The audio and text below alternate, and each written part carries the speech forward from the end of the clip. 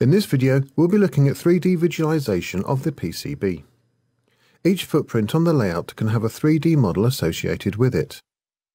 With any footprint in Proteus, you can normally download a step file from the internet, place it in the MCAD directory of your installation, and then simply load it and position it in the 3D Models dialog form.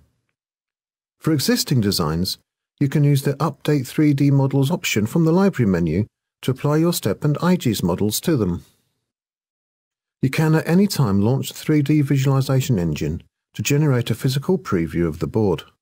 Go up to the toolbar and click the 3D visualizer icon.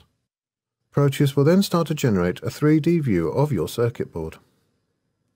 Several preset camera angles are available via the buttons at the bottom of the viewer to allow you to quickly rotate and flip the board.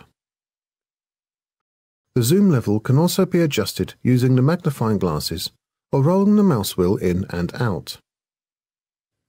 Clicking on the button at the bottom left will allow you to fly a camera around the board in order to get a view of a particular part of the board. When used in conjunction with the scroll wheel, you can zoom in on any particular component or area of the board that is of interest. Holding down the left mouse button and moving the mouse will allow you to view the board from any angle. You can set a transparent box around the board by clicking on the button at the bottom toolbar. This represents a container for the PCB and allows you to check for clearances. In this example, can be seen that several components protrude from the current size constraints of the casing. The last icon at the bottom allows you to remove the components giving an unobstructed view of the bare board.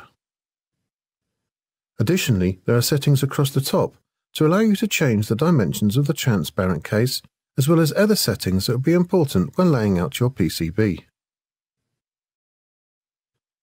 If you want to export the 3D board for import into MCAD tools like SolidWorks or Autodesk, you can do so via the Export MCAD options on the Output menu in Ares.